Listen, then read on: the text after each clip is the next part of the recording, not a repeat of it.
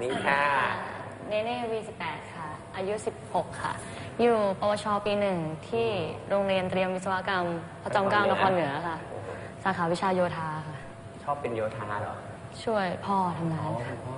คุณรับเหมานะ